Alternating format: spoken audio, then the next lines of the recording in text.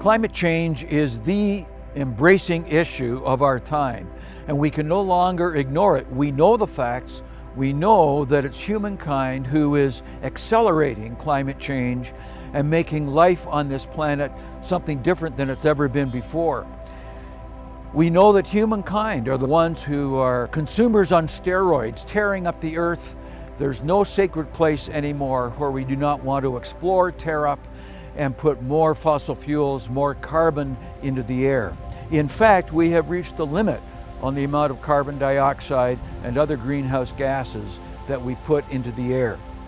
Some people say the economy and the environment are in conflict. They are not. Without a healthy Mother Earth, we do not have a healthy economy.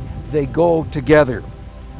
And therefore, we have to come to terms with the fact that all, almost all the scientists who know anything about this matter are telling us we are at a critical turning point in humankind's history. We have to care about climate change because our activities are changing the very life and the life possibilities on Mother Earth. Now, I like to come at this issue not out of guilt, but out of gratitude. We live on a beautiful, beautiful uh, earthly home.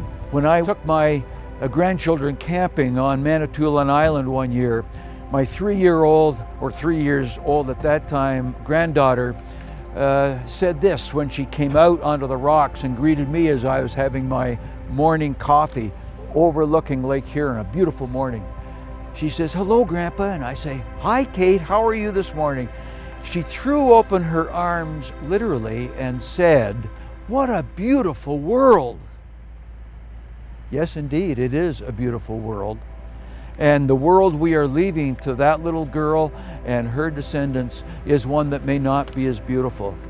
It's as though we would go into a, an art gallery with a, with a knife and a, and a marker pen and slash and write all over the beautiful art. That's what we are doing to Mother Earth.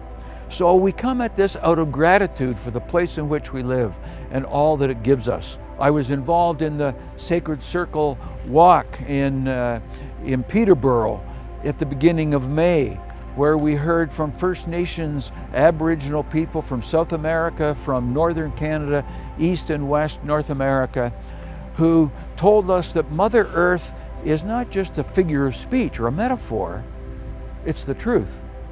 The earth is our mother and gives us life. There are many ways in which you can become involved In fact, there's too much information out there in some ways. And that's good because there are millions of organizations all over the world who are waking up and taking action. In your own churches, you can encourage people to put on solar panels. When I was driving from uh, Toronto to Calgary uh, in the early summer, I went into Wawa, I was going down the main street of Wawa, and there I see this big church with solar panels on the roof. Sure enough, that was the United Church.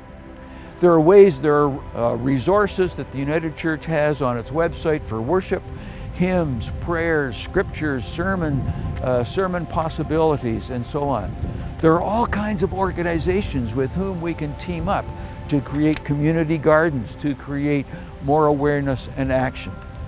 And of course, I would encourage everybody to uh, contact your member of parliament or the member of your legislative assembly or your town or city council because they need to know what you think about the future we are handing our grandchildren and great-grandchildren. Lastly, the main thing and fundamentally, I would encourage you to do something that says you love our earthly home.